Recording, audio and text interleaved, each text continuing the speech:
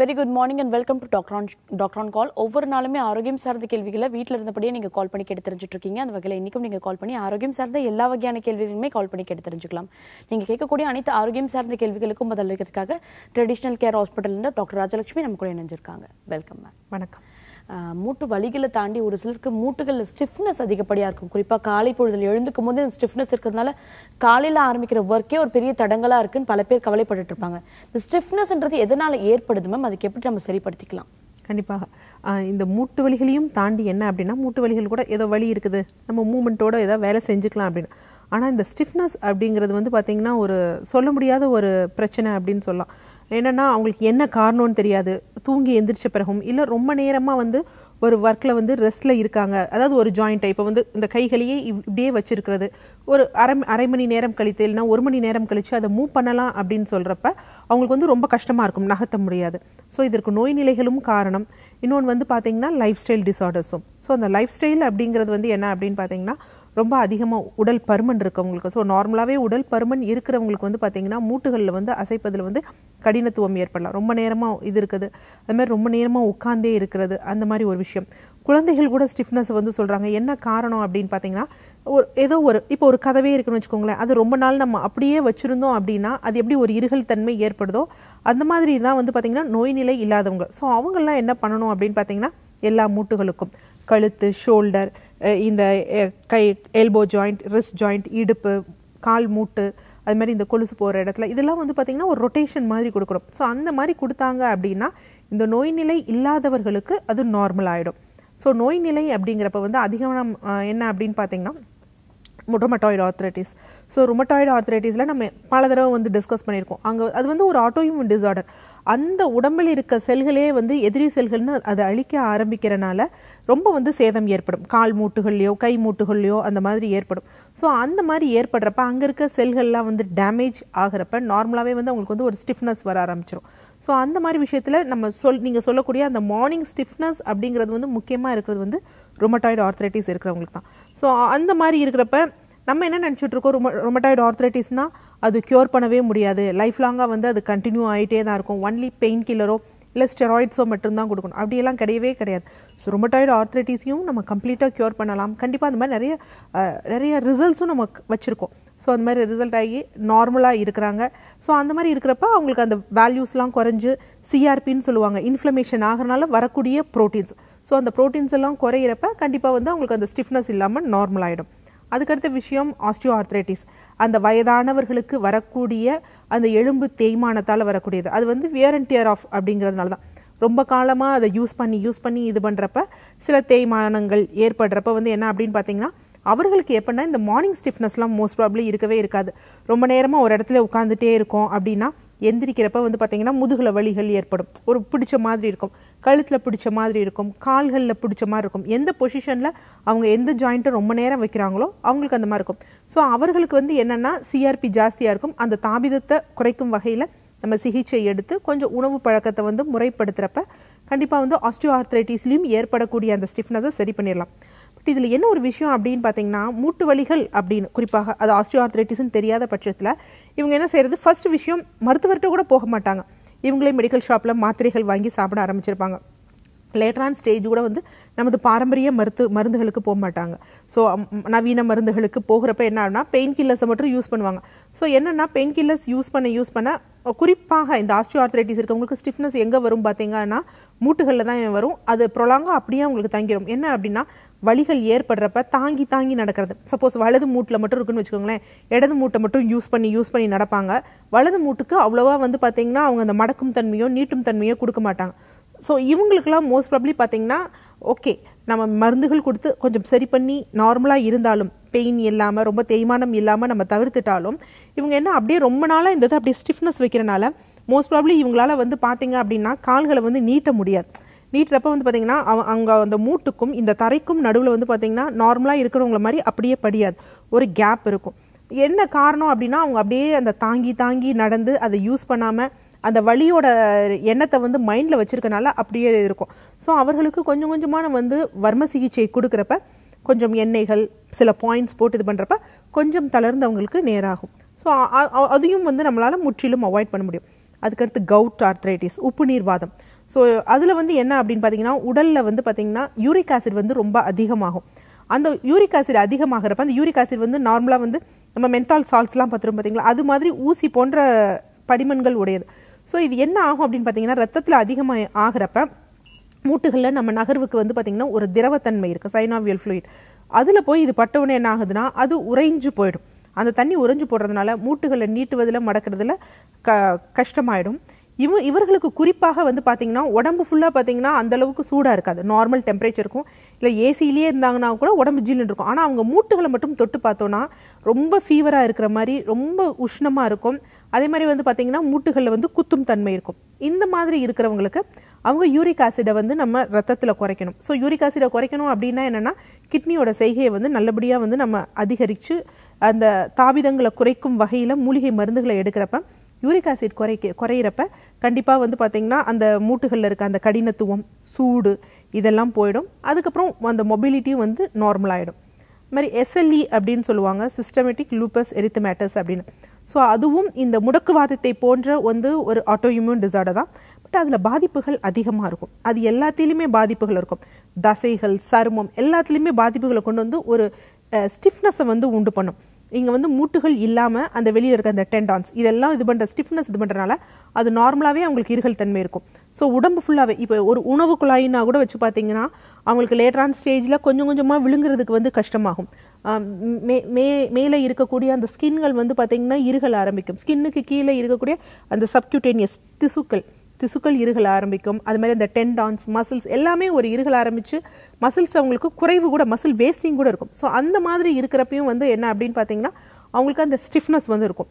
So அந்த மாதிரி இருந்ததுன்னா அவங்களுக்கு எஸ்எல்இயா அப்படின்னு வந்து அதற்குரிய ANA antibodies anti nuclear antibodies பார்த்துட்டு இந்த என்ன என்னோட எக்ஸ்பீரியன்ஸை பொறுத்த வரைக்கும் இந்த ஆர்ஏல இருக்கிறது ஆர்ஏவை நம்ம நெகட்டிவ் பண்ணிடலாம் அதே மாதிரி ஆஸ்டியோ ஆர்த்ரைட்டிஸை மேனேஜ் பண்ணி ரொம்ப தேய்மானம் இல்லாமல் தவிர தவிர்த்திடலாம் கவுட் ஆர்த்ரைட்டிஸை வெறும் வெகு குறுகிய காலத்தில் முற்றிலும் இது பண்ணலாம். பட் இந்த எஸ்எல்இ மட்டும் வந்து பார்த்தீங்கன்னா நம்ம நெகட்டிவ் பண்ண முடியாது. பட் அந்த ஆன்டி நியூக்ளியர் ஆன்டிபாடிஸை வந்து அது இருக்குது ஸ்ட்ராங்காக இருக்கா? வீக்காக இருக்கா? ஸ்ட்ராங்னா சிங்கிள் ஸ்ட்ராங்காக டபுள் ஸ்ட்ராங்காக இருக்கு. ஸோ அந்த லெவலில் குறைக்கிறப்ப அவங்களோட லைஃப்பை வந்து பார்த்திங்கன்னா எந்த ஒரு ஸ்டீராய்ட்ஸும் இல்லாமல் எந்த ஒரு பிரச்சனைகளும் இல்லாமல் தீவிரமான மருந்துகள் இல்லாமல் நம்ம அப்படியே பேலன்ஸ் பண்ணலாம். ஸோ என்ன காரணம்னு பார்த்து நம்ம ட்ரீட்மெண்ட் எடுத்தோன்னா கண்டிப்பாக அது முற்றிலும் குணப்படுத்திடலாம். ஓகே நிகழ்ச்சியோட ஃபர்ஸ்ட் காலர் இணைப்பில் இருக்காங்க. அவங்க கிட்ட பேசலாம். ஹலோ ஹலோ வணக்கம். நீங்க இணைப்பில் தான் இருக்கீங்க. பேசலாம் இது டாக்டர் ஆன் கால் ஓகே நம்ம நிகழ்ச்சியில் இன்னைக்கு மூட்டுகளில் இருக்கக்கூடிய ஸ்டிஃப்னஸ் பற்றி பே பேசிட்டு இருக்கோம். அது சார்ந்த கேள்விகள் மட்டும் இல்லாமல் ஆரோக்கியம் சார்ந்த எல்லா வகையான கேள்விகளுமே நீங்கள் கால் பண்ணி கேட்டு தெரிஞ்சுக்கலாம். நிகழ்ச்சியோட ஃபர்ஸ்ட் காலர் இணைப்பில் இருக்காங்க. ஹலோ ஹலோ வணக்கங்க மேடம் வணக்கம். சொல்லுங்கம்மா உங்க பேர் என்ன? சேலம் வாழப்பாடியிலேருந்து வேல்விழி பேசுறேன் மேடம் ஓகேம்மா இது யாருக்கான கேள்விம்மா? எனக்கு எனக்கு தாங்க மேடம். உங்களோட வயசு? வயசு முப்பத்தி ஏழு மேடம். ஓகே. டாக்டர் இணைப்பில் தான் இருக்காங்க. பேசலாம். ஓகே. வணக்கம். வணக்கம்மா. வணக்கம்மா. சொல்லுங்கம்மா. மேடம் எனக்கு அடினோமயோசிஸ் ப்ராப்ளம் இருக்குங்க ஓகே. அந்த பீரியட் டைம் வந்து ரொம்ப வலி அதிகமா இருக்கு. கண்டிப்பாக ப்ளீடிங்கும் அதிகம் இல்ல. ஓகே. வயிறு வலி கொஞ்சம் கட்டி கட்டியா போகும். Okay okay. அது நார்மலா போறது இல்லைங்க மேடம். எவ்வளோ அதாவது இந்த அடினோமியோசிஸ் நீங்க பார்த்ததா அப்புறம் விட்டுருங்க. எவ்வளோ காலமா உங்களுக்கு இந்த மாதிரி பீரியட்ஸ் அப்ப வலிகள் அதிகமா இருக்கிறது? அது மாதிரி உதிரம் வந்து பாத்தீங்கன்னா கட்டி கட்டியா போறது எவ்வளோ நாளா இருக்கு? நாலு வருஷமா மேடம். நாலு வருடமா இருக்கு. ஸோ நாலு வருடமா நீங்க என்ன பண்ணீங்க? அதற்காக மாத்திரைகள் வலி நிவாரண மாத்திரைகள் இந்த மாதிரி மட்டும் எடுத்துட்டு இருந்தீங்களா? வலி மாத்திரலாம் எதுவும் சாப்பிடலைங்கம்மா. இது ஹலோ சித்தா தான் சாப்பிட்டுட்டு இருக்கேங்கம்மா ஓகே இப் ஸ்கேன் எடுத்தீங்களாமா ஆ ஸ்கேன் இருக்குங்கம்மா. ஸ்கேன் எடுத்தப்ப அந்த அடினோமயோசிஸோட அளவுகள் ஏதாவது குறிப்பிட்டு இருந்தாங்களா ஆ அளவுகள்லாம் எதுவும் குடிக்கலைங்கம்மா. அ- அளவு இல்லை பட் அடினோமயோசிஸ் இருக்குன்னு மட்டும் அந்த யூட்ரஸோட சைஸ் எவ்வளோமா இருக்கு? யூட்ரஸோட மெஷர்மெண்ட் வந்து பன்னெண்டு புள்ளி ஒன்னு பன்னெண்டு புள்ளி ஒன்று இருக்கு. ஓகே கருப்பை அகப்படலத்தோட அளவு எவ்வளோ இருக்கு? ஐ மீன் எண்டோமெட்ரியத்தோட அளவு எவ்வளோ இருக்கு? எத்தனை எம்எம் இருக்கு? அந்த திக்னஸ் திக்னஸ்ங்கம்மா ஆ ஆமா ஆமா. மூணு எம்எம்மா வெறும் மூன்று எம்எம் தான் இருக்கா? மூணு புள்ளி ஜீரோ எம்எம் போட்டிருக்காங்க. இது பீரியட்ஸ் ஆனதுல இருந்து எத்தனை நாள் கழிச்சு இந்த ஸ்கேன் பாத்தீங்க அது பீரியடுக்கு முன்னாடியும் பார்த்திருக்கேன். பீரியடு ஒரு மூணாவது நாள் நாலாவது நாள் அப்படி பார்த்திருக்கேங்கம்மா அப்பயும் உங்களுக்கு த்ரீ எம்எம் தான் இருந்ததா? பீரியட்ஸ்க்கு முன்னாடியும் த்ரீ எம்எம் பீரியட்ஸ் ஆன பிறகும் த்ரீ எம்எம் தான் இருந்ததா? பீரியட்ஸ் முடிஞ்ச ஒரு மூணாவது நாள் நாலாவது நாள் அப்படி பார்க்கும்போது மூணு எம்எம்மா ஓகே ஆக்சுவலாமா அடினோமயோசிஸ் அப்படிங்கிறது என்ன அப்படின்னா இப்போ நம்ம கருப்பையோட அகப்படலம் சொல்றோம் பாத்தீங்களா? எண்டோமெட்ரியம் இருக்கு பாத்தீங்களா? ஆமாங்க இது என்ன அப்படின்னு பாத்தீங்கன்னா இது வந்து குழந்தை வந்து கரு கருத்தரிச்ச குழந்தை அது உட்காந்து வளரக்கூடிய ஒரு இடம் தான் அதுதான் அந்த எண்டோமெட்ரியம் அப்படிங்கிறது. ஸோ யூஸ்வலாக என்ன அப்படின்னா சப்போஸ் கருத்தரிக்கலை அப்படின்னா இந்த எண்டோமெட்ரியம் தான் என்ன பண்ணும்? இதுக்கு நிறைய ரத்த குழா குழாய்கள் போய் ரத்தம் நிறைய கொடுத்து ஸோ அந்த அந்த இதை வந்து அந்த உள்ள இருக்க கருப்பை அகப்படலத்தை வந்து வெளியே தள்ளும். அந்த க கருத்தரிக்காத அந்த கருமுட்டியை வந்து வெளியே தள்ளும். இதற்கு இதோட பயன் வந்து அதுதான்.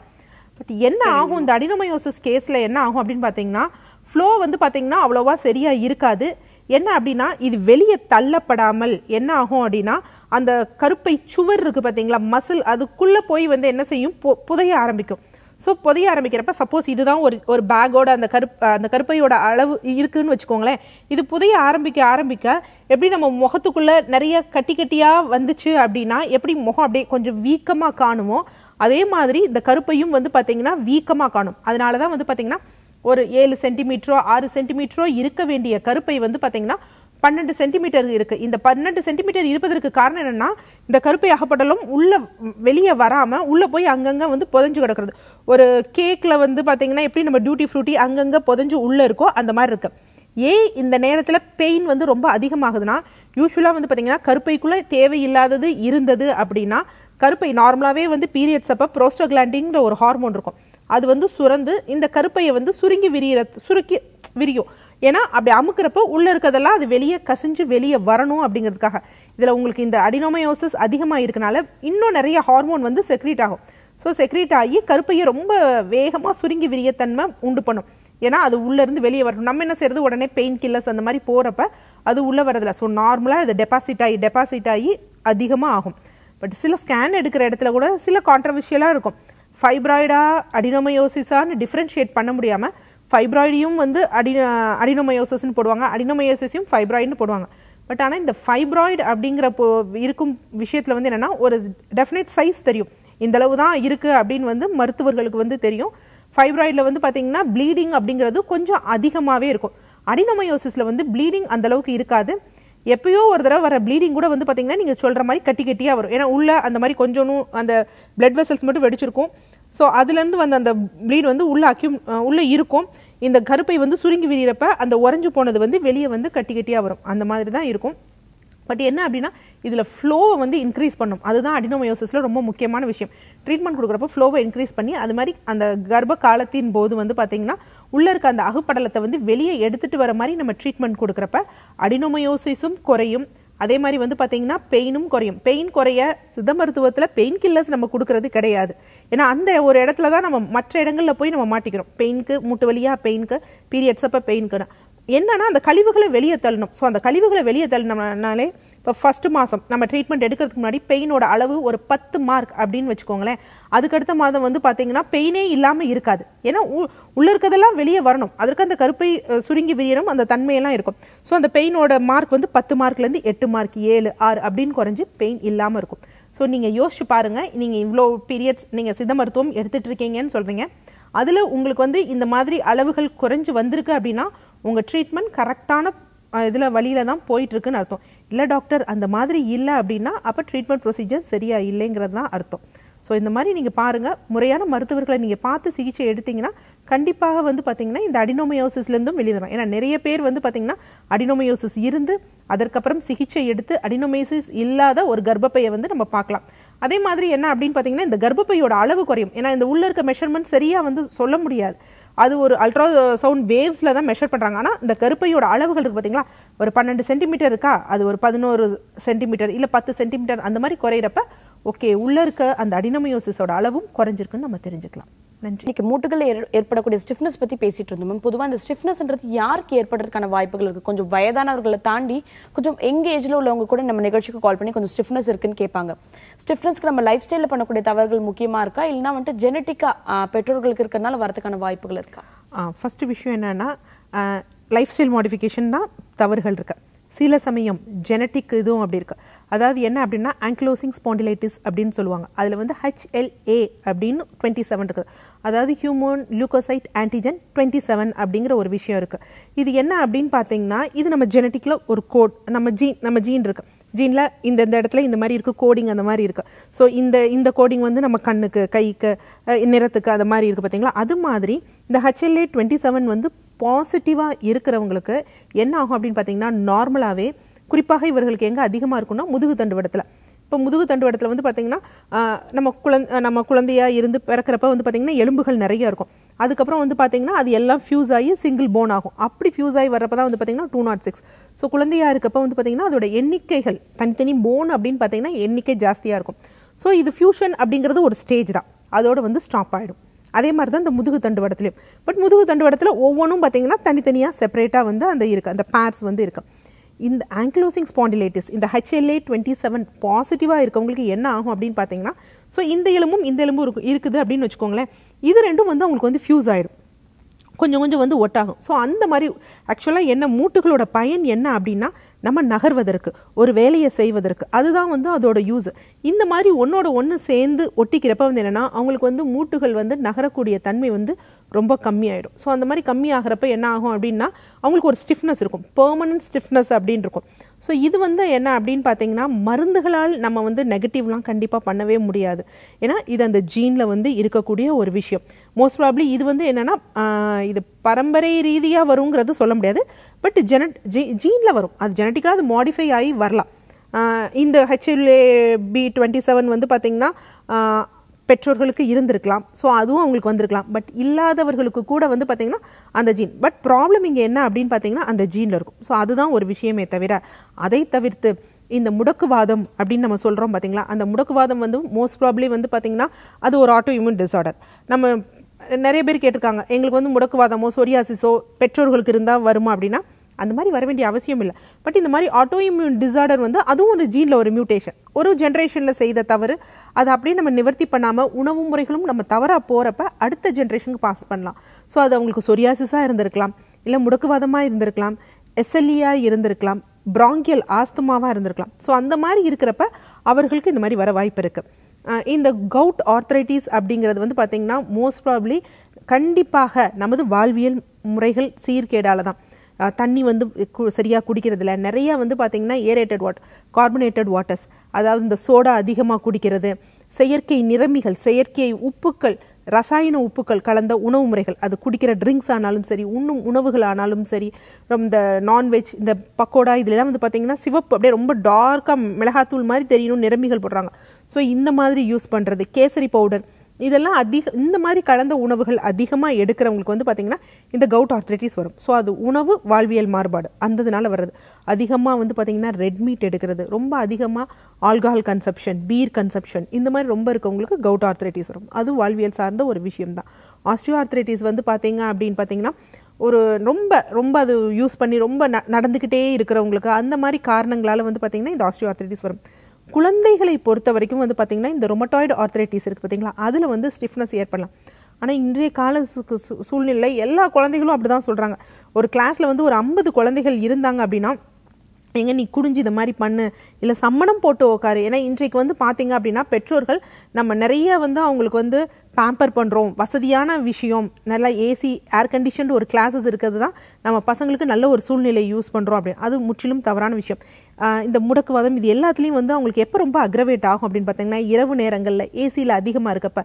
ஏன்னா கொ- அவங்களுக்கு வெயிலே படுறது கிடையாது. வெயில் படுறப்ப தான் இந்த எலும்புகளுக்கு தேவையான விட்டமின் டி இதெல்லாம் கிடைக்கும். இந்த குளிர்ச்சித்தன்மை அதிகமாகிறப்ப அந்த உள்ளே இருக்க ஃப்ளூயிடும் ஒரு ஸ்டிஃப்னஸ் ஆகும்.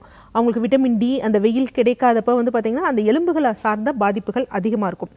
இது இன் இன்றைக்கு இருக்க ஜென்ரேஷன் என்ன சொல்கிறது ஒரு தேர்ட்டி ஃபைவ் ஆனால் இன்றைய ஜென்ரேஷன் வந்து பார்த்திங்கன்னா ஸ்கூலிங்லேருந்தே வந்து அவங்க வந்து ஏசியில் இருக்காங்க. வீட்டிலேருந்து கிளம்பி ஒரு ஏர் கண்டிஷன் பஸ்லேயோ இதுலேயோ போகிறாங்க திருப்பி இப்படியே வரப்போ அவங்களுக்கு வெயிலே இல்லாதப்ப அவர்களுக்கு வெகு விரைவிலே வந்து பார்த்திங்கன்னா ஆஸ்டியோபோரோசிஸ் ஆஸ்டியோபீனியா அப்படிங்கிற தன்மை வந்து இனி சீக்கிரமாகவே வரும். ஒரு இருபத்தஞ்சு வயசுலேயே ஆஸ்டியோபோரோசஸ் ஆஸ்டியோபீனியா வரும். விட்டமின் டி குறைபாடு ஏற்படும். இதெல்லாம் ஒரு பக்கம். இன்னொரு விஷயம் என்ன அப்படின்னா அதுக்கு சம்மணம் போட்டே உட்கார்றது கிடையாது. முன்னாடி ஒரு டாய்லெட் யூஸ் பண்ணால் கூட இந்தியன் டாய்லெட் அவங்க அந்த மூட்டுகளை மடக்கி உட்காருவாங்க. ஸோ அந்த தன்மையும் இல்லாதப்ப என்ன அப்படின்னு பார்த்தீங்கன்னா நான் சொல்லக்கூடிய இந்த கதவுகள் எப்படி அசையலை அப்படின்னா ஒரு இருகல் தன்மை ஏற்படுதோ அதே இருகல் தன்மை தான் இந்த பசங்களுக்கு ஏற்படுது. ஸோ அதனால என்னென்னா ஓகே ஸ்கூல்ஸ்லேயும் வந்து இன்றைக்கி யோகாங்கிறது ப்ரொமோட் பண்ணுறாங்க பட் எல்லாருமே அதை பண்ணணும். இன்னொன்று வெயில் படணும். அது ரொம்ப முக்கியமான விஷயம். ஏ ஏர் கண்டிஷனுங்கிறது வந்து ஒரு தேவையான அளவு அளவுக்கு தான் இருக்கணும். ரொம்ப அளவுக்கு அதிகமாக இருக்கிறப்ப அது எல்லா வயதினரையும் அது பாதிக்கும். ஓகே. நிகழ்ச்சியோட அடுத்த அழைப்பாளர் இணைப்புல இணைப்புல இருக்காங்க. அவங்க கிட்ட பேசலாம். ஹலோ மேடம் வணக்கம். சொல்லுங்கம்மா உங்க பேர் என்ன? என் பேரு மாரியம்மன். எங்க இருந்து கால் பண்றீங்கம்மா? சென்னையில இருந்து பேசுறேன். ஓகே. இது யாருக்கான கேள்விமா எனக்காண்டியும் பாப்பாவுக்காண்டியும் மேடம் கேட்கணும். ஓகேம்மா உங்களோட வயசு என்னன்னு சொல்லிட்டு உங்களோட சந்தேகத்தை கேட்கலாம்? வலது கால்ல முட்டுக்கு கீழே கால் கொஞ்சம் சூடா இருக்கு மேடம் ஓகே வணக்கம்மா பாப்பாவுக்கு வந்து வணக்கம் மாரியம்மாம்மா உங்கள் வயது என்ன? எனக்கு வயசு ஐம்பத்தி மூணு. சரிம்மா உங்கள் காலில் எங்க குதிகாலில் சூடாக இருக்கா? இல்ல இல்லம்மா வணக்கம் மேடம் வணக்கம் வணக்கம். சொல்லுங்கம்மா. இல்ல முட்டுக்கு கீழேம்மா அந்த கீழே வந்து கொஞ்சம் சூடா இருக்கு. கால் முட்டிக்கு கீழே சூடா இருக்கு. கீழே கீழே சூடா இருக்கா. பின்னாடி சூடா இருக்கா? புரிந்தால் கிடையாது. கால் முட்டி. நீ ஜாயிண்ட் தானே சொல்றீங்க? மா நீங்க டிவி பார்த்து பேசிட்டு இருக்கீங்கம்மா. டிவி பார்த்து பேசாதீங்க. முட்டுக்கு கீழே. முட்டிக்கு எல்லாம் முட்டிக்கு பின்னாடியான்னு கேக்குறாங்கம்மா. முட்டுக்கு முன்னாடி கீழே அந்த தண்டுலமா ஓகே. Okay okay. அந்த இடத்துல தொட்டா சூடா இருக்கு. எப்பயுமே சூடா இருக்கா? வீக்கம் ஏதாவது ஏற்படுதா? அந்த தண்டுல. இல்லம்மா வீக்கம் ஏதாவது ஏற்படுதான்னு கேக்குறேன். தொட்டா இல்ல.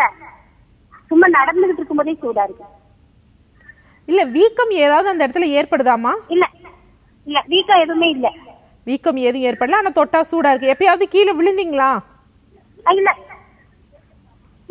இல்ல. எவ்வளவு காலமா இருக்குமா? இப்போ ஒரு ரெண்டு மாசமா தான் இருக்கு. ரெண்டு மாசமா இருக்கு. இதுக்காக மருத்துவரை போய் பாத்தீங்களா இல்ல பாக்கல பார்க்கல. அதாவது என்ன காரணங்கள் அப்படின்னு ஓகேம்மா ஒரு மூட்டுல மட்டும்தான் உங்களுக்கு அந்த சூடு இருக்கா? இல்ல ரெண்டு மூட்டுலயும் இருக்கா? ஒரு மூட்டுல மட்டும்தான் இருக்கு. ஓகே ஒரு மூட்டில் மட்டும் இருக்குது அப்படின்னா கவுட் ஆர்த்ரைட்டிஸ்ல அந்த மாதிரி மூட்டுக்கு அந்த கீழே அந்த இடத்துல வந்து எங்க சொருகுதோ அங்க வந்து பாத்தீங்க அப்படின்னு பாத்தீங்கன்னா ஒரு டெண்டான் மாதிரி இருக்கும். ஸோ அதுல பிரச்சனை ஏற்படலாம். இன்னொன்று பர்சைட்டிஸ்னு ஒன்று சொல்லுவாங்க. அதுலேயும் வந்து இந்த இருகல் தன்மை இந்த சூடு இந்த வழிகள் இருக்கும். என்ன அப்படின்னு பார்த்தீங்கன்னா நம்ம மூட்டுகளில் வந்து பார்த்தீங்கன்னா ஒரு சின்ன பேக் மாதிரி இருக்கும். அதுக்குள்ளே ஒரு நீர் திரவம் மாதிரி இருக்கும். அது சில சமயம் கெட்டுப்போச்சு அப்படின்னா என்ன ஆகும் அப்படின்னு பார்த்தீங்கன்னா சூடாக இருக்கும். ஸோ அதனாலையும் அந்த பர்சைட்டிஸ்னாலையும் சூடாக இருக்கும். அதை பார்த்து அதற்கேற்றப்ப நம்ம சிகிச்சை செஞ்சோம்னா கண்டிப்பாக நல்லாகும். இருந்தாலும் இப்பொழுதுக்கு நீங்கள் என்ன பண்ணுங்க அப்படின்னு பார்த்தீங்கன்னா நார்மலாகவே நமக்கு வந்து வெளியே வந்து கரிய போலம்னு கிடைக்குமா? நாட்டு மருந்து கடையில் கிடைக்கும். ஸோ அந்த கரிய போலத்தை வந்து என்ன பண்ணுங்கள் நல்லா அரைச்சு அந்த இடத்துல பத்து போடுங்க. பத்து போட்டுட்டு வாங்க. ஒரு டூ டு த்ரீ டேஸில் வந்து உங்களுக்கு வந்து அங்கே ஒன்றுமே இல்லை அப்படின்னா இல்லை இது ஜஸ்ட் வந்து ஏதோ டெண்டான்ஸ் லைட்டாக இடிச்சதுக்கு எதனால இன்ஃப்ளமேஷன் ஏதாவது ஆயிருக்கலாம் அப்படின்னு அர்த்தம். இல்லை அப்படி போட்டும் வந்து எனக்கு வந்து ஒன்றுமே குறையலை அப்படின்னா உரிய சிகிச்சை கண்டிப்பாக அதுக்கு எடுக்கணுமா நீங்கள் சென்னையில் எங்கே இருக்கீங்கம்மா? சென்னையில் சேப்பாக்கத்துல இருக்கும். சேப்பாக்கத்தில் இருக்கீங்க. நம்ம ட்ரெடிஷ்னல் கேர் மருத்துவமனை டி நகரில் இருக்கு. ஸோ நீங்கள் வர்றப்போ சிஆர்பி அப்படிங்கிற ஒரு விஷயம் மற்றும் பிளட் டெஸ்ட் மற்றும் எடுத்துட்டு வந்து நேரில் பாருங்கம்மா. நன்றி. நெக்ஸ்ட் காலர் இணைப்புல இருக்காங்க. அவங்க கிட்ட பேசலாம். ஹலோ ஆ ஹலோ நான் தூத்துக்குடி மாவட்டம் கோயில்பட்டியில இருந்து பேசுறேன். ஜெயலட்சுமி. ஓகேம்மா இது யாருக்கான கேள்விமா எனக்கு தான் கேட்கணும் வயசு நாலு ஆகுது. ஓகே ஃபைன்மா டாக்டர் இணைப்பில் தாம்மா இருக்காங்க. உங்களோட கேள்வியை கேட்கலாம். ஆ டாக்டர் வணக்கம். ஆ வணக்கம்மா. சொல்லுங்கம்மா. என் வயசு ஐம்பத்தி நாலு ஆகுது டாக்டர். ஓகேம்மா இடது கால்ல இடுப்புல இருந்து இடது கால் கரண்ட வரைக்கும் வலிக்குது. ஓகே எவ்வளோ நாட்களாக இருக்குமா? இது ரொம்ப நாளா இருக்குது.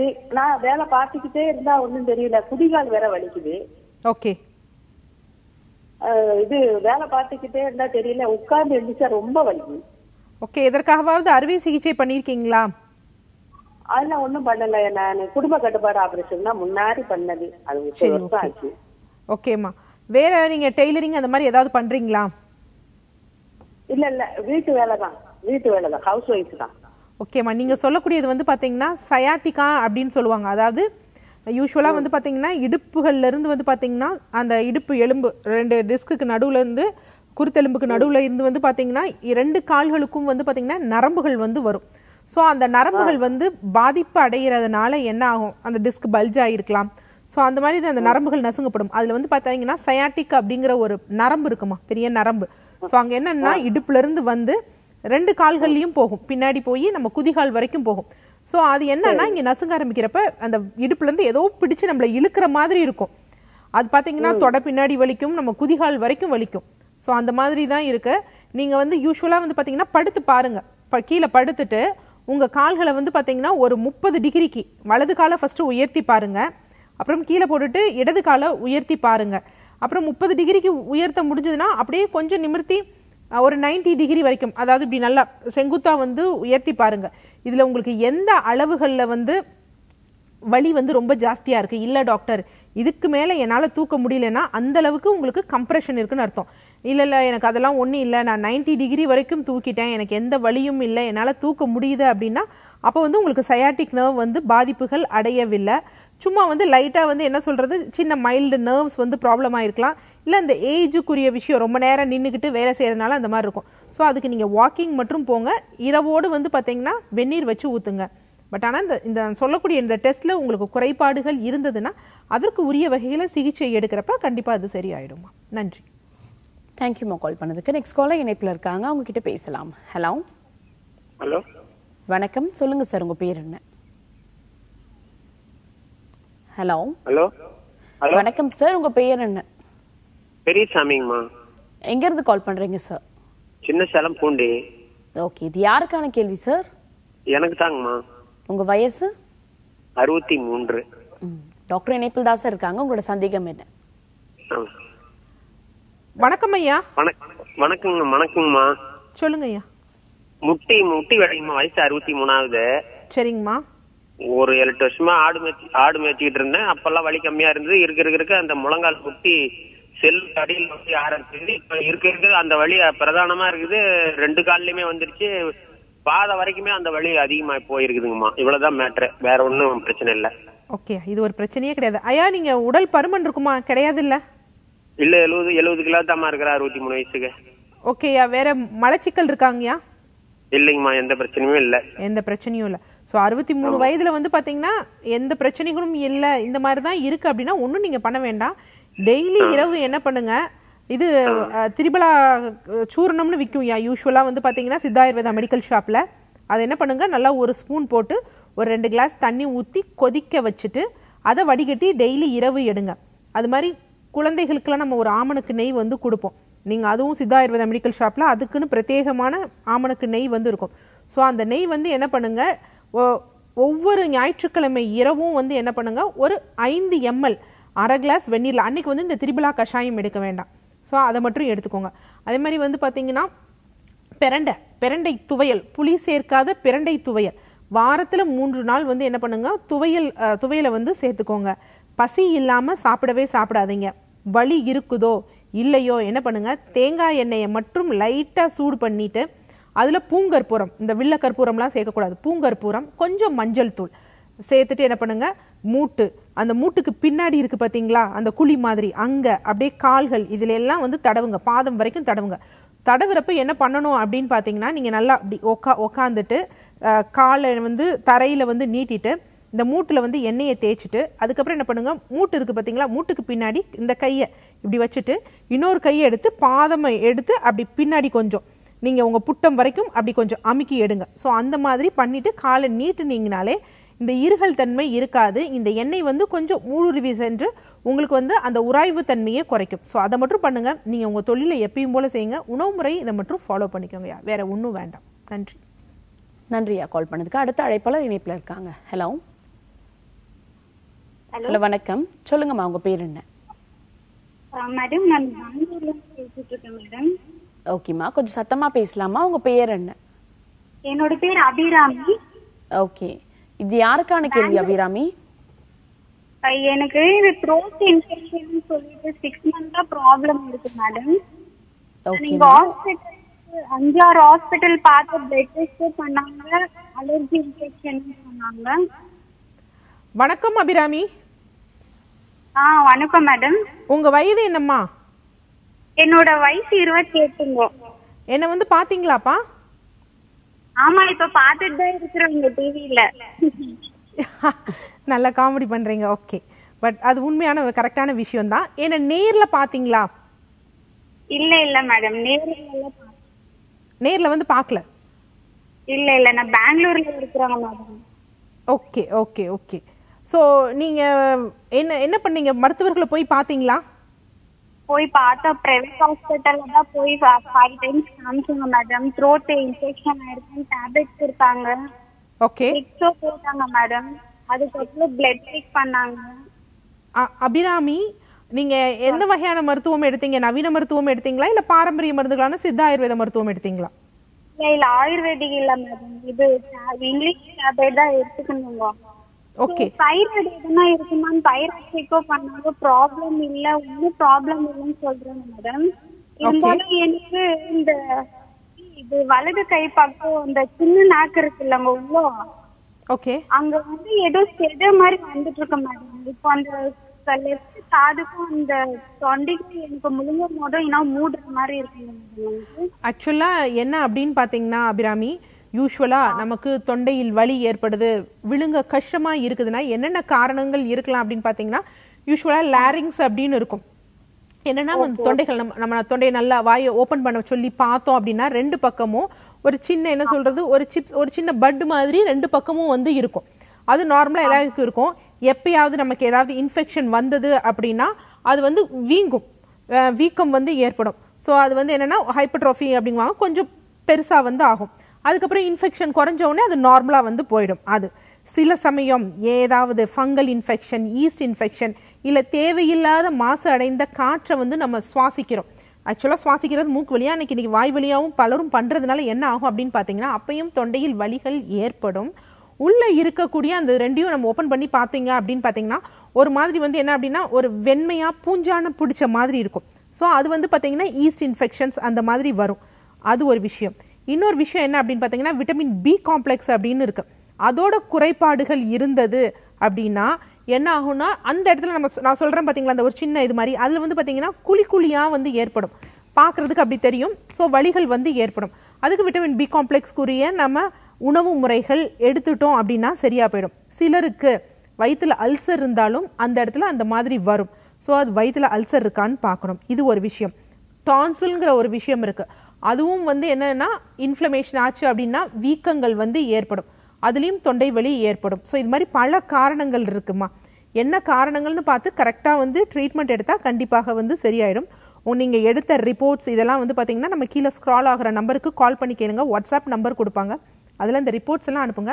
அதை பார்த்துட்டு உங்களுக்கு நான் தொடர்ந்து வந்து காண்டாக்ட் பண்ணுறோம் ஸோ இப்போ நீங்கள் என்ன பண்ணுங்க அப்படின்னு பார்த்தீங்கன்னா வெறும் வெந்நீரில் கல்லுப்பு மஞ்சள் அதை மட்டும் போட்டு நல்லா காகுல் பண்ணுங்கள் கொஞ்சம் தன் தொண்டையில் வந்து ஒரு என்ன சொல்கிறது ஒரு டுவெண்ட்டி ஃபைவ் செகண்ட்ஸ் தேர்ட்டி செகண்ட்ஸாவது அந்த தண்ணீர் வந்து அப்படியே அலைமோதணும் அந்த மாதிரி பண்ணிவிட்டு ஆடாதோடை மணப்பாகு கிடைக்கும். நார்மலாகவே சித்தா ஆயுர்வேத மெடிக்கல் ஷாப்ஸில் கிடைக்கும். ஸோ அந்த ஆடாதோடை மணப்பாகு வந்து என்ன பண்ணுங்கள் ஒரு ஃபிஃப்டீன் எம்எல் வெந்நீரில் கலந்து காலையும் இரவும் எடுத்துக்கோங்க. பூண்டு தேன் அப்படிங்கிற ஒரு ப்ரிப்ரேஷன் இருக்குது நானே சில ப்ரிப்ரேஷன்ஸ் சொல்லியிருக்கேன். ஸோ அந்த பூண்டு தேன் வந்து என்ன பண்ணுங்க அப்படின்னா ப்ரிப்பேர் பண்ணி அந்த உள் தொண்டையில் வந்து தடவிட்டு வாங்க. இல்லைன்னா முடியல அப்படின்னா வெறும் வயிற்றில் வந்து பார்த்தீங்கன்னா அதுவும் ஒரு அஞ்சு எம்எல் ஏழு எம்எல் எடுத்துட்டு வாங்க. இதை ஒரு ஃபைவ் டேஸ் எடுத்துட்டு வாங்க. எந்த வித ஆன்டிபயோட்டிக்ஸ் எதுவும் இல்லாமல் குளிர்ச்சியான உணவுகள் இல்லாமல் பண்ணி பாருங்கள் இந்த ஃபைவ் டேஸில் உங்களுக்கு சரியாயிடுச்சுன்னா ஒரு பிரச்சனையும் இல்லை. அதையும் மீறி உங்களுக்கு இருந்தது அப்படின்னா ரிப்போர்ட்ஸை சென்ட் பண்ணுங்கம்மா. நன்றி. தேங்க்யூமா கால் பண்ணதுக்கு. நெக்ஸ்ட் காலர் இணைப்பில் இருக்காங்க. அவங்க கிட்ட பேசலாம் ஹலோ ஹலோ குட் மார்னிங் சொல்லுங்கம்மா உங்க பேர் என்ன? ஆ லக்ஷ்மி மேடம். வயசு வந்து நாற்பத்தி ஐந்து. ஓகே இது யாருக்கான கேள்வி? உங்களுக்கான கேள்வி. உங்களோட சந்தேகத்தை கேட்கலாமா? டாக்டர் இணைப்பில் தான் இருக்காங்க. சரிங்க. வணக்கம்மா வணக்கம் மேடம் நல்லா இருக்கீங்களா?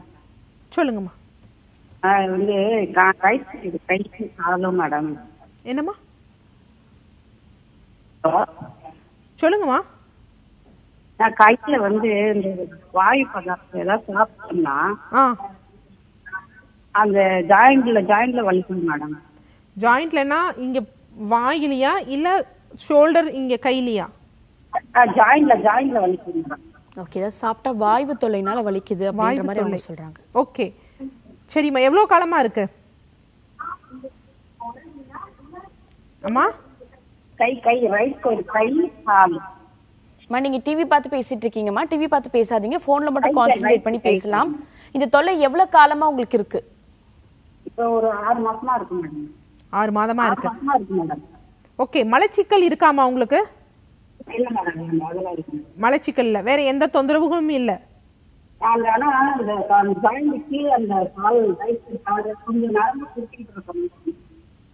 ஓகேம்மா. இப்போ வந்து நீங்க இந்த வலிகள். இருக்கிற இடத்துல எங்கேயாவது நீங்க அழுத்துனீங்கன்னா உங்களுக்கு ஏப்பம் மாதிரி வருதா உங்களுக்கு? சவுண்ட் வருதா? இல்ல மேடம் இல்ல மேடம் அந்த மாதிரிலாம் எதுவும் இல்லை. என்ன சாப்பிட்டா உங்களுக்கு வந்து இந்த மூட்டுகள்ல வலிகள் ஏற்படுது? அந்த இது எக்கு சாப்பிட்டா ஆகுது மேடம் எக்கு உருளைக்கிழங்கு ஊர்ல ஓகே. வாழைக்காய். எவ்வளவு காலமா இந்த பிரச்சனை இருக்குன்னு சொன்னீங்க? ஒரு சிக்ஸ் மந்த்தா இருக்கு மேடம் அப்ப சிக்ஸ் மந்த்ஸ்க்கு முன்னாடி வாழைக்காய் முட்டை எல்லாம் சாப்பிட்டீங்கல்ல இந்த மாதிரி பிரச்சனைகள் வரல இல்ல? சின்ன வயதுல இருந்து சாப்பிட்டுட்டு தானே வர்றீங்க? ஆமா மேடம் அப்ப தவறு உணவு மேலயா? நமது நம்ம மேல நம்ம மேலயா? கண்டிப்பாக. ஏன்னா அது எல்லாருமே புரிஞ்சுக்கணும். எப்ப பார்த்தாலும் ஒரு உணவுகளை நம்ம செயற்கை உணவுகள் ரசாயன உணவுகள்னா அவங்கள நம்ம குறை சொல்லலாம். முட்டை வந்து உடம்புக்கு எந்த கெடுதலையும் உண்டு பண்ணாது. உருளைக்கிழங்கு ரொம்ப முக்கியமான விஷயம். அது அபிசிதம் மூலம்னு அதுக்கு அவ்வளோ ஒரு அருமையான பேர் வச்சுருக்காங்க. உடம்புக்கு வந்து எல்லா சத்துக்களும் வந்து ஒரு குழந்தைய வளர்க்குறதுக்கு எப்படி தாய் அந்த தாய்ப்பால் கொடுக்குறாங்களோ அந்த அளவுக்கு வந்து பார்த்திங்கன்னா நன்மை பயக்கக்கூடியது இந்த உருளைக்கிழங்குங்கிற ஒரு விஷயம். ஸோ அதெல்லாம் வந்து அவாய்ட் பண்ண வேண்டிய விஷயம் இல்லை. ஆனால் ஏன் வந்து இந்த மாதிரி நமக்கு திடீர்னு ஏற்படுது அப்படின்னா அதுதான் நம்ம உடல் நம்ம செய்யக்கூடிய தப்பு. நம்ம உடல் கழிவுகளை பீரியாடிக்காக நம்ம வந்து வெளியே தள்ளுறது கிடையாது. ஸோ வெளியே தள்ளாதப்ப அந்த கழிவுகள் உடலில் வந்து தேங்கும். ஸோ அந்த உடலில் வந்து தேங்கிறது மூட்டுகளில் வந்து தேங்கலாம் வயிற்றுப் பகுதியில் தேங்கலாம். அந்த மாதிரி இருக்கிறப்ப அது எங்கே வந்து அதிகமாக சேருதோ அந்த இடத்துல வந்து பிரச்சனைகள் வந்து இருக்கும். ஸோ என்ன அப்படின்னு பார்த்தீங்கன்னா இப்பொழுதுக்கு இப்பொழுதைக்கு உங்களுக்கு என்ன காரணங்கள் இருக்கலாம் அப்படின்னா ஸோ ஆஸ்டியோஆர்த்ரைட்டிஸ்லாம் இருக்கக்கூடிய வாய்ப்புகள் இருக்காது. யூரிக் ஆசிட் அதிகமாக இருக்கலாம். அந்ததுனால அந்த மாதிரி இருக்கலாம். அதே மாதிரி பார்த்தீங்கன்னா வயிறில் வந்து செரிமானம் வந்து முழுமையாக இல்லை புரோட்டீன்ஸ் அதிகமாக அக்யூமுலேட் ஆகுது புரத செரிமானம் சரியாக இல்லை. ஏன்னா நீங்கள் சொல்லக்கூடிய இந்த முட்டை அப்படிங்கிறது வந்து புரதம் சார்ந்த ஒரு விஷயம்தான். உருளைக்கிழங்கு அப்படிங்கிறது அதிகம் மாவு சார்ந்த விஷயம். ஸோ ரெண்டுமே இருக்குது அப்படிங்கிறதுனால உங்கள் செரிமானம் வந்து முழுமையாக இல்லை அப்படிங்கிறது தான் ஒரு விஷயம். ஸோ நீங்கள் என்ன பண்ணணும்? உரிய மருத்துவர்களை பார்த்து நமது பாரம்பரிய சித்த மருத்துவர்கள் இருக்காங்க பார்த்தீங்களா? அவங்கள பார்த்து நீங்கள் என்ன பண்ணுங்க? முதல் உடல் கழிவுகளை வெளிநீக்கும் வகையில் நீங்கள் மருத்துவம் மேற்கொண்டாலே போதும். உங்களுக்கு இந்த பிரச்சனை சரியாயிரும். முட்டை உருளைக்கிழங்கு எல்லாமே சாப்பிடலாம். நன்றிம்மா. தேங்க்யூம்மா கால் பண்ணதுக்கு. நெக்ஸ்ட் காலர் இணைப்பில் இருக்காங்க. ஹலோ ஹலோ குட் மார்னிங் சொல்லுங்கம்மா உங்க பேர் என்ன? வணக்கம் மேடம் இருந்து மாரிசேரி பேசுறேன். ஓகேம்மா. இது யாருக்கான கேள்விமா தம்பி பேரணி அவங்க வயசு? நாலு வயசு ஓகே ஃபைன்மா கொஞ்சம் சத்தமா பேசலாமா? டாக்டர் இணைப்பில் தான் இருக்காங்க. ஆ சரி. வணக்கம்மா. வணக்கம்மா சொல்லு. தேனியில இருந்து பேசுறேன் ஓகே தம்பி பேரனுக்கு நாலு வயசு ஆயிருமா திருநெல்வேலியில இருக்காங்க. ரெண்டு- வயசுலயே அவங்க அம்மா திடீர்னு கேன்சர்ல இறந்து போயிடுச்சு. பேச்சு அவ்வளவாவே அவன் வந்து பேசல. ஓகே அதுக்கப்புறம் அந்த டிவி செல்லு இதுலயே மூழ்கிட்டு இருந்துட்டான் இப்பவும் அதே செல்லு பார்க்க டிவி பார்க்க இப்படி இருக்கிறான். இப்பதான் கொஞ்சம் ஸ்கூலுக்கு அனுப்பி விட்டு பேச்சு வருது. பேச்சு வந்து அடுத்து அந்த பேச்சுக்கு போக மாட்டேங்கிறான் அப்படியே முடிச்சுட்டு திருப்பி அந்த உலகிட்டே இருக்கிற மாதிரி அந்த இதே பேசிட்டு இருக்கான் பாத்துக்கோங்க எப்படி சால்வ் பண்றது? ஓகேம்மா கண்டிப்பாக ஒரு விஷயம் புரிஞ்சுக்கணும். அந்த குழந்தைக்கு எந்த நோயோ மூளை சார்ந்த நோயோ மனநோயோ எதுவும் கிடையாது. அதை முத புரிஞ்சுக்கோங்க. தவறுகள் வந்து சுற்றி இருக்க நம்ம மேலே தான் வந்து முற்றிலும் தவறுக்கான காரணம். இந்த சமுதாயம் இந்த சுற்றுப்புற சூழல் நம்ம இந்த சொசைட்டி தான் இந்த பிரச்சனைக்கு காரணம். இன்றைக்கி உங்கள் குழந்தைக்கு மட்டும் கிடையாது இன்று பல குழந்தைகளுக்கு வந்து இந்த பிரச்சனைகள் வந்து இருக்கு. ஏன்னா ஃபர்ஸ்ட் வந்து அந்த குழந்தைக்கு வந்து அந்த தாய் இல்லாது அது ஒரு ஒரு வந்து பிரச்சனைக்குரிய விஷயம். அதுக்கடுத்து என்னென்னா இன்று எப்பப்பா நமக்கு ஒரு வேலை செய்கிறோம் குழந்தை சும்மா இருக்குன்னா டிவியை போட்டு விட்டுறலாம் மொபைலில் கொடுக்கலாம் அப்படிங்கிறப்ப வந்து என்ன அப்படின்னா அந்த குழந்தை வந்து அதில் அப்படியே ஒருங்கிணிச்சிருது. அந்த குழந்தைக்கு கம்யூனிகேஷன் அப்படிங்கிறது அவ்வளோ ரொம்ப குறைஞ்சு போயிடுது. முன்னாடியெல்லாம் வந்து பார்த்தீங்கன்னா நீங்கள் தாத்தா பாட்டி எல்லாருமே என்கரேஜ் பண்ணியிருப்பாங்க. வீட்டில் கூட்டம் இருக்கும். அந்த குழந்தைகிட்ட சும்மா ஓயாமல் ஏதாவது பேசிக்கிட்டே இருப்பாங்க. அது வயதான பாட்டிகள்லாம் பேசுவாங்க. அதை திருப்பி பேச சொல்லி இது பண்ணுவாங்க. ஸோ அந்த மாதிரி பண்ணுறப்ப தான் அந்த குழந்தைக்கு வந்து அந்த ஆர்டிகுலேஷன் அப்படிங்கக்கூடிய அந்த ஸ்பீச் வந்து டெவலப் ஆகும். ஸோ இன்று அந்த மாதிரி வாய்ப்புகள் வந்து ரொம்ப குறைஞ்சு போச்சு. நீங்கள் வந்து மொபைல் பார்க்குறப்ப வந்து ஃபஸ்ட்டு அந்த குழந்தை என்ன பண்ணுன்னா நமக்கே தெரியாது. அந்த குழந்தை வந்து அதில் ஏதாவது பேசுனாங்க அப்படின்னா அந்த குழந்தை அதுக்கு ஏற்றாப்புல ஒரு ரெஸ்பாண்ட் பண்ணியிருக்கோம். பட் அந்த குழந்தைக்கு வந்து பார்த்தீங்கன்னா செய் செய்கிற மாதிரி அந்த ஒரு உ- உரிய பதில் வந்து கண்டிப்பாக ஒரு உயிரில்லாத மொபைல்கிட்ட இருந்தோ டிவிகிட்ட இருந்தோ கிடை- கிடைக்கவே கிடைக்காது. ஒரு குழந்தை வந்து ஏதோ ஒன்று கேட்குது அப்படின்னு வச்சுக்கோங்க நம்ம இது பண்ணுவோம் இப்படி ஏதாவது ஆட்டுவோம். ஸோ அந்த குழந்தைக்கு தெரியும். நம்ம சொல்கிறதுக்கு இவங்க இந்த மாதிரி வந்து ஒரு ரியாக்ஷன் காமிக்கிறாங்கன்னு. இதெல்லாம் அந்த குழந்தைக்கு அது தெரியாது. ஸோ அது ஒரு நேரத்தில் பார்க்குறப்ப அது அமைதியாகிடும் அதுக்கு வந்து மொபைலும் ஒன்று தான் என்ன சொல்கிறது டிவியும் ஒன்று தான் நாமும் ஒன்று தான் அப்படிங்கிற ஒரு சுச்சுவேஷனுக்கு இதாயிருவோம். அப்போ அந்த குழந்தையோட பேச்சு வந்து வெகுவாக வந்து குறைஞ்சிரும். இதுதான் இன்றைக்கு தனியாக இருக்க குழந்தைங்க இந்த மாதிரி இருக்க குழந்தைகளுக்கு பிரச்சனை. நீங்கள் ஸ்கூல்ஸ் போய் விடுறப்ப அந்த பேச்சு வந்து பார்த்திங்கன்னா நல்லா வந்து இம்ப்ரூவ் ஆக ஆரம்பிச்சிருக்கு. ஓரளவுக்கு இம்ப்ரூவ் ஆக ஆரம்பிச்சிருக்கு. கண்டிப்பாக போக போக வந்து நல்லா இம்ப்ரூவ் ஆகும். ஸோ அந்த தடுமாற்றம் ஏன் அப்படின்னா அந்த குழந்தைக்கு வந்து நம்ம சொல்கிறது சரியாக தப்பாக இவங்க இதுக்கு ரியாக்ட் பண்ணுவாங்களா? பண்ண மாட்டாங்களா? அப்படிங்கிற ஒரு இதுலவே வந்து யோசிச்சு யோசிச்சு யோசிச்சு அந்த குழந்தை மெதுவாக பேசும். ரெஸ்பாண்ட் பண்ணுறது கூட வந்து ரொம்ப மெதுவாக இருக்கும். நல்லா இதாக இருக்கிறப்ப அந்த டக்கு டக்குன்னு சிக்னல்ஸ் போகும். இப்போ வந்து அந்த சிக்னல்ஸ் போகிறது அப்படிங்கிறது வந்து குறைஞ்சு போயிடும். அதுதானே தவிர வேறு ஒரு விஷயமும் கிடையாது. ஸோ குழந்தை முத கு- குழந்தைகள் கையில் வந்து மொபைல் கொடுக்காதீங்க. மொபைல் கொடுக்குறப்ப அந்த வேவ்ஸால் அவங்களோட மூளைகளும் வந்து பார்த்திங்கன்னா பாதிப்பு அடையும். ஆனால் இன்றைய கால சூழ்நிலையில் பல குழந்தைகளும் எப்போ பார்த்தாலும் மொபைல் வச்சிட்ருக்காங்க இருக்காங்க. அது காலத்தோட அவல அவல நிலைன்னு தான் சொல்லணும். ஈவன் ஸ்கூல்லே வந்து மேனேஜ்மெண்ட்டே வந்து மொபைல்ஸை பயங்கரமாக என்கேஜ் பண்ண வைக்கிறாங்க. அதற்கு வந்து பார்த்திங்கன்னா நீதித்துறை தான் வந்து ஒரு உரிய நடவடிக்கை வந்து எடுக்க வேண்டிய கால சூழ்நிலையில் வந்து இருக்கும். அதனால் மொபைல்ஸை வந்து குழந்தைகிட்ட கொடுக்காதீங்க. டிவி எப்போ பார்த்தாலும் போட்டு வைக்காதீங்க. நம்ம ஃப்ரீயாக இருக்கணும் நம்ம வேலை செய்யணும் அப்படின்னு டிவியை ஸ்விட்ச் ஆஃப் பண்ணி வைங்க. குழந்தைங்களோட பேசுங்க. நம்ம எல்லோரும் வந்து பேசி ஒரு உரையாடல் இருந்தால் தான் வந்து பார்த்திங்கன்னா வாழ்வியல் வாழ்க்கை வந்து சுமூகமாக போகும். இல்லைன்னா பிரச்சனைகள் இருக்கும். அதை மட்டும் பண்ணுங்க. யூஸ்வலாக வந்து சித்தா ஆயுர்வேத மெடிக்கல் ஷாப்பில் வந்து பார்த்திங்கன்னா வாணி கிருதம் அப்படிங்கிறது ஒன்று கிடைக்கும். ஸோ அந்த கிருதம் வந்து அந்த நெய்யை மற்றும் ஒரு அஞ்சு எம்எல் காலையும் இரவும் அந்த குழந்தைக்கு கொடுங்க. ஸ்கூல்ஸ்க்கு எப்பயும் போல் அனுப்பட்டும். முதல் ஃபோனையும் டிவியையும் தூரமாக வைங்க. நன்றிம்மா. நெக்ஸ்ட் காலர் இணைப்புல இருக்காங்க. அவங்க கிட்ட பேசலாம். ஹலோ ஹலோ வணக்கம் மேடம் வணக்கம். சொல்லுங்கம்மா உங்க பேர் என்ன? என் பேர் செல்வ மீனாட்சிங்க மேடம் எங்க இருந்து கால் பண்றீங்கம்மா? தாராபத்திலிருந்து கால் பண்றேங்க மேம் ஓகே ஃபைன்மா இது யாருக்கான கேள்வி? அம்மாக்கான கேள்விங்க மேடம் அவங்க வயசுமா? வயசு ஐம்பத்தி ரெண்டுங்க ஓகே ஃபைன் டாக்டர் இணைப்பில் தாம்மா இருக்காங்க. நீங்க பேசலாம். வணக்கம் டாக்டர் ஆ வணக்கம் செல்வி. சொல்லுங்கம்மா. எங்க அம்மாக்கு வந்து பாத்தீங்கன்னா லெஃப்ட் லெக்ல முட்டியில இருந்து பாதத்துக்கு வரைக்கும் பெயினாவே இருக்குங்க மேடம் ஓகே முட்டி முட்டியில இருந்து பாதத்து வரைக்கும் பாத்தீங்கன்னா பின்பக்கம் பச்சை நரம்பு திரண்ட மாதிரி இருக்கு. ஓகே டாக்டர்கிட்ட ஸ்கேன் பண்ணதுக்கு முட்டியில பாத்தீங்கன்னா லைட்டா தேய்மானம் சொன்னாங்க.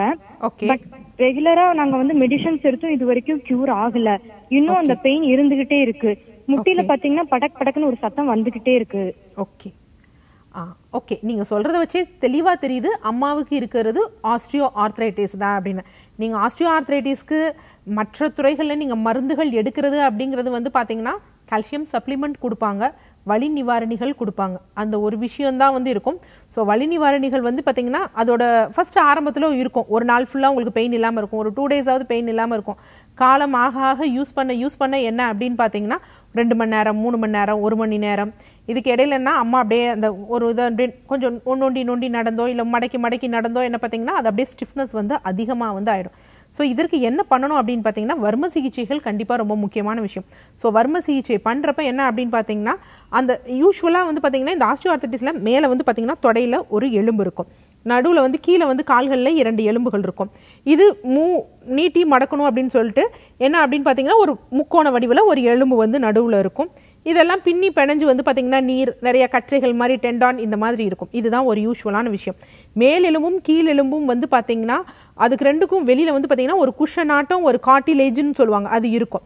ஸோ இது என்னென்னா எடுத்தோடனே ஃபஸ்ட்டு எலும்புகள் தேயாது. இந்த உள்ளே இருக்க நீர் வத்துறப்ப இந்த மேலே இருக்க எலும்பில் இருக்க அந்த காட்டிலேஜும் குருத்தெலும்பும் ஒரு குஷன் மாதிரி அதுவும் கீழேயும் வந்து தேய ஆரம்பிக்கும். தேய ஆரம்பித்து இந்த நீரும் குறையிறப்ப ஒன்றுக்கொன்று வந்து என்ன செய்யும்? உரச ஆரம்பிக்கும். உரச ஆரம்பிக்கிறப்ப தான் அவங்களுக்கு வந்து வலிகள் இருகல் தன்மை இந்த விஷயம் இருக்கும். இதுக்கு என்னென்னா இதுக்கு முன்னாடி வந்து பார்த்திங்கன்னா நம்ம தசைகள் இதெல்லாம் இருக்குது பார்த்தீங்களா ஸோ அந்த இது இது பண்ணுறப்போ உள்ளே அது நசுங்கப்படும். ஸோ நசுங்கப்படுறதுனால தான் அவங்களுக்கு வந்து வலிகள் வந்து அதிகமாக இருக்குது ஸோ இதுக்கு வர்ம சிகிச்சையும் உள்ளே வந்து நம்ம மருந்துகளும் எடுக்கிறப்ப பாரம்பரிய மருந்துகள் எடுக்கிறப்ப கண்டிப்பாக அவங்களுக்கு அதுலேருந்து அவங்க வெளியே வந்துடலாம் இந்த நொண்டி நொண்டி நடக்கிறது இருக்காது வலிகள் இருக்காது. ஒரு விஷயம் புரிஞ்சுக்கணும். அதுக்காக வந்து பார்த்தீங்கன்னா நம்ம திருப்பி அந்த ஃப்ளூ இதெல்லாம் வந்து எலும்புகள் வரைக்கும் தேய்மானமாகாது. ஆனால் அந்த காட்டிலேஜ் இருக்குன்னு சொல்கிறோம் பார்த்தீங்களா அந்த குருத்து அதை வந்து நம்ம திருப்பி ரீபில்ட் பண்ணலாம். பில்ட் பண்ணுற வகையில் உணவுகள் வந்து எடுத்துக்கலாம். ஸோ அதற்கு கால்சியம் சார்ந்த நீங்கள் கால்சியம்னு மாத்திரைகள் எடுக்கிறத விட உணவு முறைகளில் எடுத்துக்கோங்க. ஸோ கேழ்வரகு அந்த மாதிரி எடுக்கிறப்ப அது இன்னும் கொஞ்சம் நல்லா பலனளிக்கும்மா. அதே மாதிரி நீங்கள் கால் பின்னாடி வந்து பார்த்தீங்கன்னா பச்சை நரம்பு. ஸோ யூஸ்வலாக நம்ம உடலில் வந்து பார்த்திங்கன்னா மேலோட்டமாக வந்து இருதயத்திலேருந்து உடலுக்கு எல்லா பகுதிக்கும் ரத்தம் எடுத்து போகக்கூடிய ரத்த நாளம் வெயின் வந்து இருக்கும் அதுக்கடுத்து அதாவது உடம்புலேருந்து இருதயத்துக்கு எடுத்து ரத்தத்தை எடுத்துட்டு போகக்கூடியது மேலோட்டமாக இருக்கும். அதுக்கடுத்து ஆர்டரி இருக்கும் கீழே தான் நரம்புகள் இருக்கும். இந்த இது கீழேருந்து ரத்தத்தை மேலே ஹார்ட்டுக்கு எடுத்துகிட்டு போகணும். ஸோ அது வந்து என்ன அப்படின்னு பார்த்தீங்கன்னா சுற்றி செய்ய எடுத்துகிட்டு போகிற அந்த நரம்புகள் வந்து அந்த ரத்த நாளம் வந்து சில பேருக்கு வந்து ரொம்ப நேரம் நிற்கிறதுனாலையோ இல்லை நம்ம அந்த கால் தசைகள் வந்து வலுவிழந்து போகிறதுனால அதனால் பம்ப் பண்ண முடியாது. அந்த ஒரு ஸ்டிஃப்னஸ் எலாஸ்டிசிட்டி போயிடும். ஸோ அந்த மாதிரி இருக்கக்கூடிய நேரத்துலையும் இல்லை ஹார்ட் பிபி இருக்குது இல்லை ஹார்ட் சம்மந்தப்பட்ட பிரச்சனைகளுக்கு அதோட எனர்ஜி லெவல் கம்மியாகிறப்ப கீழே இருக்கக்கூடிய அந்த ரத்த நாளம் வெயின் வந்து சுருண்டுக்கும். ஸோ சுருண்டுக்கிறப்ப அப்பயும் வந்து அவர்களுக்கு வந்து வலி இருக்கும். ரெண்டுமே இங்கே காரணங்களாக இருக்குது இதற்கு வந்து நீங்கள் இந்த ரத்த நாளம் சுருண்டுக்கிறதுக்கு வந்து பார்த்தீங்கன்னா உள்ள அந்த ரத்த நாளங்கள் திருப்பி நார்மலாக அந்த சுருள் இல்லாமல் இருக்கிற வரைக்கும் மரு மருந்துகள் எடுத்துகிட்டு வெளிப்புறமாக வந்து பார்த்தீங்கன்னா நார்மலாக வந்து நம்ம லெமன் ஜூஸ் இருக்குது பார்த்தீங்களா அதுவும் நல்லெண்ணெய். இது ரெண்டையும் கலந்து லைட்டாக சூடு பண்ணிவிட்டு அந்த கால்களில் அதாவது ரொம்ப அழுத்தி அந்த நாளத்து மேலே தேய்க்கக்கூடாது. அது தவறான விஷயம். லைட்டாக ஒரு மசாஜ் பண்ணிவிட்டு மேலே ஏற்றி விட்டோம் அப்படின்னா அந்த இது குறைஞ்சு போயிடும். குறைஞ்சு போய் நார்மல் ஆகிடும் இந்த இதுக்கு வந்து உள்ள நம்ம மருந்துகளும் எடுக்கணும். வர்ம சிகிச்சை செய்கிறப்ப அவங்களுக்கு கண்டிப்பாக அது சரியாயிடுமா? நன்றி. தேங்க்யூமா கால் பண்ணதுக்கு. டாக்டர் உங்களை நேரடியாக வந்து பார்க்குறது வந்து எங்கே பார்க்கலாம்? பிற மாவட்டங்களுக்கு நீங்கள் எந்த தேதிகளில் வருவீங்க? நமது ட்ரெடிஷ்னல் கேர் மருத்துவமனையோட தலைமை இது வந்து பார்த்திங்கன்னா டி நகரில் இருக்கும். ஸோ எல்லா நாட்களும் வந்து அங்கே இருப்போம். ஸோ மாதம் இருமுறை மற்றும் வந்து பார்த்திங்கன்னா அதோட நம்ம ஹெல்த் சென்டர்ஸ் வந்து இருக்குது திருச்சியில் இருக்குது கோயம்புத்தூரில் இருக்குது மதுரையில் இருக்குது ஸோ அந்த வகையில் வந்து பார்த்திங்கன்னா நாளை வந்து கோயம்புத்தூருக்கு வந்து நான் வரேன். ஸோ அங்கே அருகாமையில் இருக்கிறவங்க வந்து பார்க்கணும் அப்படின்னா நாளை காலை வந்து பார்த்திங்கன்னா ஒன்பது மணி முதல் இரண்டு மணி வரை இருப்பேன். அங்கே வந்து பார்க்கலாம். வரப்போ ரிப்போர்ட்ஸ் வந்து எடுத்துகிட்டு வரணும். அதுக்கு அதற்கு அடுத்த நாள் வந்து பார்த்திங்கன்னா வியாழக்கிழமை. வியாழக்கிழமை காலை எட்டு மணி முதல் வந்து பார்த்திங்கன்னா ஒரு மணி வரை மதுரை ஹெல்த் சென்டரில் வந்து நான் இருப்பேன். அங்கே வந்து பார்க்கலாம். அது மாதிரி மாலை. மாலை வந்து பார்த்திங்கன்னா ஒரு பிற்பகல் மூன்று மணியிலேருந்து ஒரு ஆறு மணி வரைக்கும் வந்து பார்த்திங்கன்னா திருச்சியில் இருப்பேன். அங்கே இருக்கவங்களும் வந்து பார்க்கலாம். இது இது இல்லாமல் அப்படின்னு பார்த்தீங்கன்னா திருவள்ளூர்லேயும் வந்து பார்த்தீங்கன்னா இப்போ ஹெல்த் சென்டர்ஸ் வந்து ஓப்பன் பண்ணியிருக்கோம். ஸோ திருவள்ளூருக்கு அருகாமையில் இருக்கிறவங்க அங்கே வந்து பார்க்கலாம் திருவள்ளூர் மற்றும் வந்து பார்த்தீங்கன்னா வாரம் ஒரு முறை வந்து நான் கன்சல்டேஷன் வருவேன். ஸோ அப்போ வந்து அவர்கள் நேரில் வந்து என்னை பார்த்துக்கலாம் ஓகே மேம் அடுத்த அழைப்பாளர் இணைப்பில் இருக்காங்க. அவங்க கிட்ட பேசலாம் ஹலோ ஹலோ குட் மார்னிங் சொல்லுங்கம்மா உங்க பேர் என்ன? மேம் குட் மார்னிங் மேம் என் பேர் மணிமாலா. எங்கேருந்து கால் பண்ணுறீங்கம்மா மேம் கடலூர்ல இருந்து கால் பண்றேன் மேம் ஓகே ஃபைன் இது யாருக்கான கேள்விமா மேம் இது எங்க வீட்ல இப்போ என்னோட ஹஸ்பண்ட்க்கு எங்க அம்மாவுக்கும் பாசிட்டிவ் வந்திருக்கு மேம் பாசிட்டிவ் வந்து சரியாயிட்டு வந்துட்டாங்க மேம் வீட்டுக்கு. ஓகே கொரோனா பாசிட்டிவ் மறுப ஆமா மேம் பாசிட்டிவ் வந்துட்டாங்க மேம் வந்துமே வீட்ல இன்னுமே உடம்பு ஒரு மாதிரி ரொம்ப டயர்டா முடியாம தான் இருக்காங்க மேம் ஓகே அவங்களுக்கு அம்மா வாய் எல்லாமே கூட புண்ணா இருக்கு மேம் குழந்தை வேற வச்சிருக்கோம். குழந்தை இப்போ தும்புது இருமுது. ஏன்னா இன்னைக்கு அது மாதிரி இருக்கு. ஒரு டூ டேஸ் பேக் தான் மேம் வந்து ரிப்போர்ட் வந்து நெகட்டிவ் தான் வந்துருச்சு இங்க எல்லாருக்கும். ஓகே இப்போ இப்போ அவங்களுக்கு என்ன பண்ணலாம்னு சொல்லிட்டு தெரியல மேம் ஆனா ரிப்போர்ட் நெகட்டிவ்னு குடுக்குறாங்க மேம் பாசிட்டிவ்னு வந்தா வைரஸ் இருக்கு. இன்னும் வேக்சினும் கண்டுபிடிக்கல. எப்படி என்ன பண்றதுன்னு ஒண்ணும் புரியல அதாவது என்ன மணிமாலா? வேக்சின் கண்டுபிடிக்க அனைத்து நாடுகளும் நமது நமது இந்தியாவும் வந்து பார்த்தீங்கன்னா ட்ரை பண்ணுறாங்க பட் எவ்வளோ விஷயத்துக்குமா நம்ம வேக்சின் போட்டுகிட்டே இருப்போம்? அதுதான் இந்த இந்த நேரத்தில் நம்ம ரொம்ப முக்கியமாக தெரிஞ்சுக்கொள்ள வேண்டிய விஷயம். எல்லோருமே நம்மளோட நோய் எதிர்ப்பு சக்தியை வந்து நம்ம வந்து உள்ளே இன்பில்ட் பண்ணணும். இன்பில்ட் பண்ணணும்னா ஒரு ஏதோ ஒரு மாத்திரையை சாப்பிட்டா உடனே நோய் எதிர்ப்பு சக்தி வந்துடும் அப்படிங்கிறதெல்லாம் கிடையவே கிடையாது. திடீர்னு இந்த ஒரு ஷார்ட் பீரியடில் எல்லோரும் ரொம்ப அப்படியே கான்ஷியஸாக வந்து பாரம்பரிய உணர்வுகள் உணவுகள் எடுக்கிறாங்க. உடனே வந்துடும் இது நம்ம லைஃப் எப்போ நம்ம குழந்தையாக பிறந்தாமோ அப்போ இருந்தே வந்து பார்த்திங்கன்னா நம்ம நோய் எதிர்ப்பு சக்தியை அதிகரிப்பதற்கு வழிவகைகள் பண்ணும். எப்படி அப்படின்னு பண்ணால் பாரம்பரிய உணவுகள். நம் ஏதோ நமக்கு ஸ்டார்டிங்கில் ஒரு முடியாத விஷயத்துக்கு எல்லாத்துக்குமே பாரம்பரிய மருத்துவ முறைகளை வந்து நாடுங்க. இன்று எல்லா மருத்துவ முறைகள் இருந்தாலும் ஏன் வந்து பார்த்திங்கன்னா இன் இன்றைய கால சூழ்நிலையில் வந்து பார்த்திங்கன்னா சித்த மருத்துவத்தில் யாரெல்லாம் இந்த கொரோனாவுக்கு ட்ரீட்மெண்ட் எடுத்தாங்களோ ஈவன் அவங்க டயபெட்டிக் பேஷண்ட் ஏன்னா எல்லாம் பரவலாக சொல்கிறது டயபெட்டிக் பேஷண்ட்னா அவங்களுக்கு டெத் வர்றது ஜாஸ்தி. கிட்னி ஃபெயிலியர் பேஷண்ட்னா அவங்களுக்கு டெத் வர்றது ஜாஸ்தி. இல்லை வேறு ஏதாவது கோமார்பிடிட்டி கேசஸ் இருந்ததுன்னா அவங்களுக்கு இந்த மாதிரி காரணங்கள் இருக்காங்க. இன்னைக்கு நம்ம சென்னையிலையும் சரி அரியலூர்லேயும் சரி தூத்துக்குடியிலும் சரி சித்த மருத்துவ விங் வந்து இந்த கோவிட் நைன்டிக்காக ஸ்டார்ட் பண்ணி அங்கே வந்து பார்த்தீங்கன்னா பலரும் வந்து ட்ரீட்மெண்ட் எடுத்து ஃபுல்லாக க்யூர் ஆகி வந்து போகிறாங்க ஆனால் யாருக்கும் எந்த பிரச்சனைகளும் இருக்கிறதில்ல. அப்போ நீங்கள் யோசிச்சு பாருங்கள் எப்படி நம்ம பாரம்பரிய மருந்துகள் வந்து நமக்கு எவ்வளோ பயனளிக்குது?